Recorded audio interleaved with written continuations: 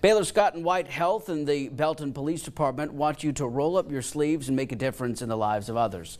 They are partnering to host a blood drive. The drive will be held tomorrow at the Belton Police Department, located 711 North 2nd Avenue. Each donor will receive a free t-shirt, blood type testing, and snacks. Slots are open from 9 in the morning until 1 in the afternoon. If you'd like to sign up for an available slot, you can visit our website, fox44news.com, for a link.